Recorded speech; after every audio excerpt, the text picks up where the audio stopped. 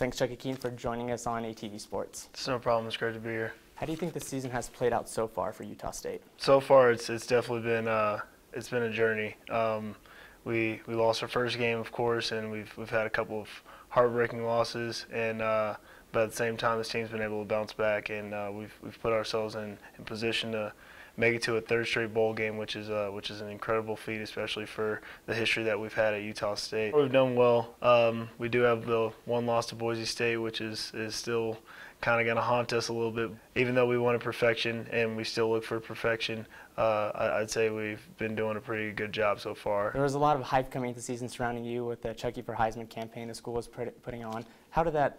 How did you feel to be part of that? First of all, it's, it's an honor to just represent the school, especially uh, for such a prestigious award like the Heisman.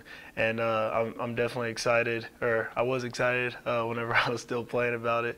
But um, at the same time, it's it's only it's not just me. Uh, yeah, it's my name on it, but I can't do it without the guys around me. Against BYU, you got hurt did you know it was going to be season ending when it happened? What was going through your mind? I knew it was a different type of pain. Never experienced it before. And generally, uh, I'd like to say I'm decent with pain, but uh, this was definitely something different. I just knew it hurt, and uh, that was about it. It was it was definitely it was definitely something I'm not going to forget. How do you think the team has done stepping up in your absence, especially Darell Garretson? Darell's definitely been producing. That's a lot of pride that I have in him and what he's been doing.